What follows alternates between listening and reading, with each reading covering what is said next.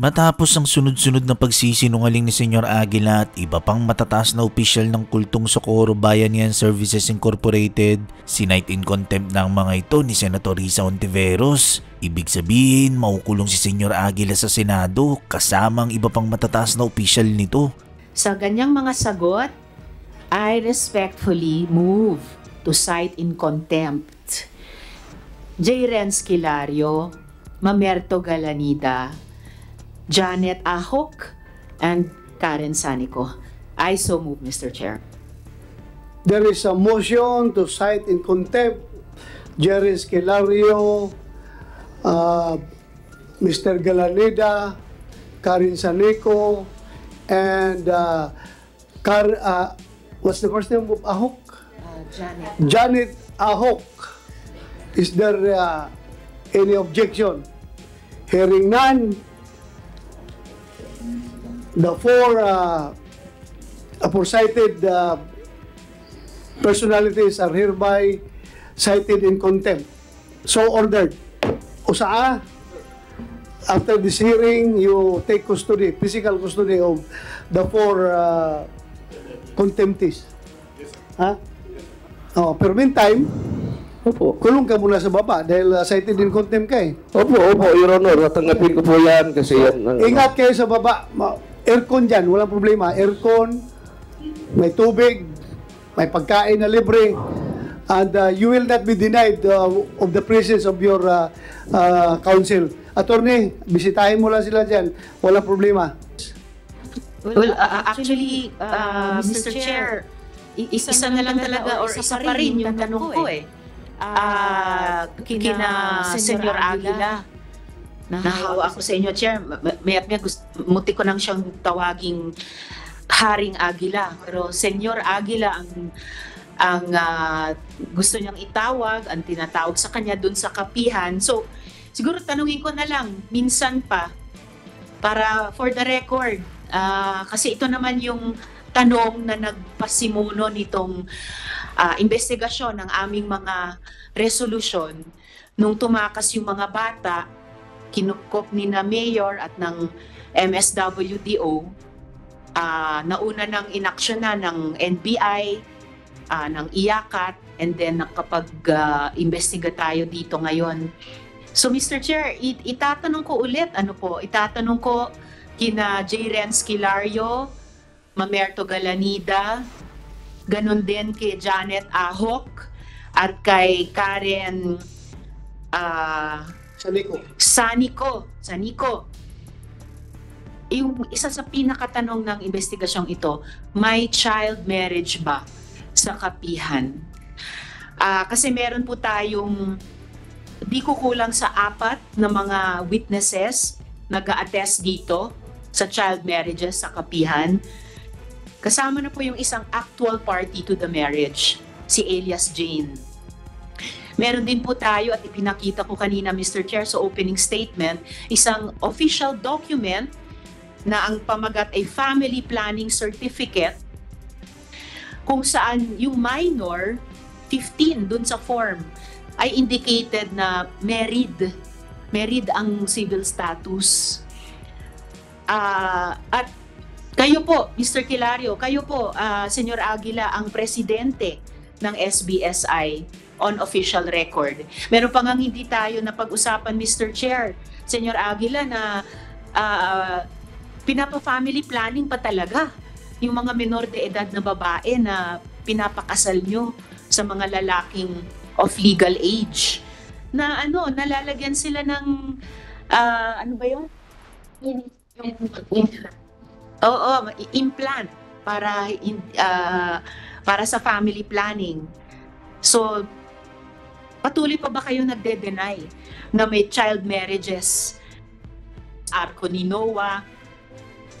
Ah, so nangyayari nga po ba?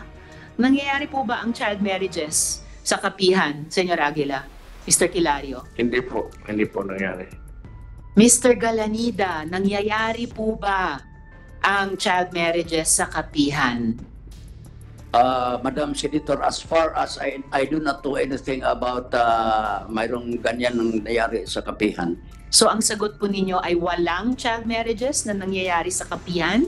Walang child marriages sa Madam Senator. Ah, kasi po, kung, kung meron, man, kung ah, meron dapat yung mga parents mismo magko-complain kasi mga anak yun nila. Wala po. Miss Sa Janet. alam ko lang, sa alam ko lang. Sa pagkaalam nyo, ah, isang tanong lang po ang akin, isang sagot lang po sa inyo. Ah, hindi sa alam nyo, hindi. Ang, ano bang totoong alam nyo? May child marriages ba o, o wala sa kapihan? Sir, Ma'am Janet, hindi pa po kayo. Mr. Galanida, mayroon ba or walang child marriages sa kapihan? As, as I, I would like to reiterate as far as I know, wala po. Wala po. Hindi ako nakasaksi ng anumang uh, seremonya na nangyari doon. Mr. Chair, parang ayaw lang sabihin ni Mr. Galanida ng no, pero hindi rin sila nagsasabi ng, hindi rin sila umaamin ng yes. Ma'am Janet, kayo po na sinabi ng ibang witnesses namin ay sarili niyong anak ay ipinakasal ng menor de edad. Nasabi nila, sinabi niyo sa kanila, ba't ayaw niyong magpakasal? Eh sarili kong anak ay ah, ipinakasal. Kayo ma'am, anong sagot niyo sa tanong kong mayroon bang child marriages sa kapihan? O- Wala po, ma'am. Wala, walang kasal sa Wala. kapihan. Ba, opo, ah, at ba- bago ko huling tanungin si Karen Sanico, Mr. Galanida, ang impormasyon din po namin ay may dalawang apo kayo na ikinasal din po sa minor sa kapihan. So kasama po ito sa dinideny ninyo.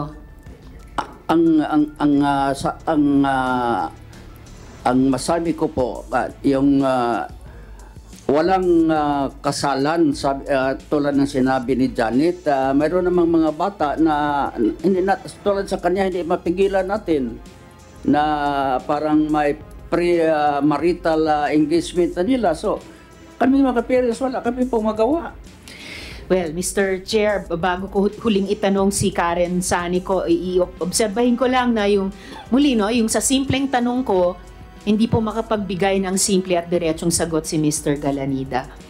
Ang huling tanong ko po kay Karen Sani ko, Sir, meron po bang sa kabila nitong lahat ng mga pagtetestimonya at pinaalala ko kayo tulad nung sinabi ng chair sa lahat ng resource persons, you are under oath, Sir ah, Sanico, ah, meron po bang, sa, sa kabila nitong lahat ng mga pagtestigo ng ating ah, victim survivors, meron po bang child marriages sa kapihan? Wala po talaga, ma'am. Wala.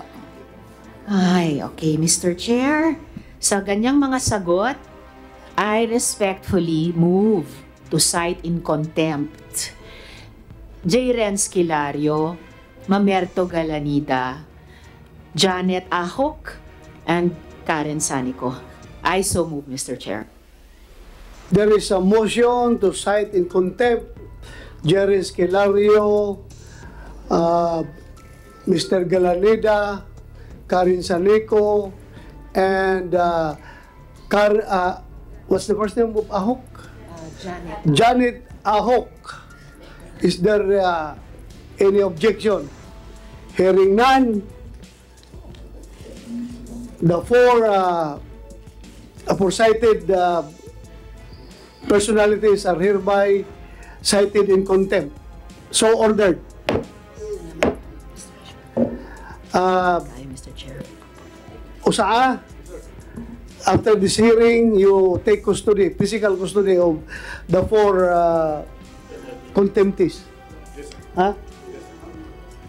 Mr. Chair, from the Department Yes, of Justice. go ahead, uh, Mr. Chair, uh, Yusek uh, T. yes, Mr. Chair, maybe just request for the committee, for the Senate to allow the respondents who are cited in contempt to attend the, the hearings in the Department of Justice will be, will, will be scheduled, um, in two weeks. Yes, uh, we will uh, just make the necessary communication and USAA will uh, take care uh, of uh, their uh, transportation papunta dun sa hearing ninyo. Okay, thank you, Ah? Mr. Chair. Thank you. And uh, please uh, make it fast uh, yung proseso nyo. Oh, pero meantime, Opo. kulong ka muna sa baba dahil uh, cited in contempt ka eh. Opo, opo, Your Honor. Tatanggapin ko po yan kasi yan. ang- Ingat kayo sa baba. Aircon dyan, walang problema. Aircon, may tubig, may pagkain na libre, and uh, you will not be denied uh, of the presence of your uh, uh, counsel. Attorney, bisitahin mo lang sila dyan. Walang problema. Your Yes. Honor, um, can can we request, Your Honor, um, because um, the our Vice President Mamerto Galanidas, as what he said, mayroon po siyang personal ailment. He has a son-in-law with him. With him, Ah, alam po yung mga medicines, mga ano po. Ah, pwede po ba siya doon din? Samahan sila doon sa baba? Walang Your Honor? problema. Pasamahan mo doon, walang problema. Maraming salamat po, Your Honor. Oh, and uh, uh, uh, usaa, si, yung ko natin, medical natin, na si kaso si Mamerto Galanida. Tingnan nyo ha, monitor nyo palagi. Ah. Salamat. And uh, with that, uh, again, I thank everyone for your cooperation. Uh, as I've said, napaka-importante ang kinabukasan ng uh, mga bata. So, the hearing is hereby suspended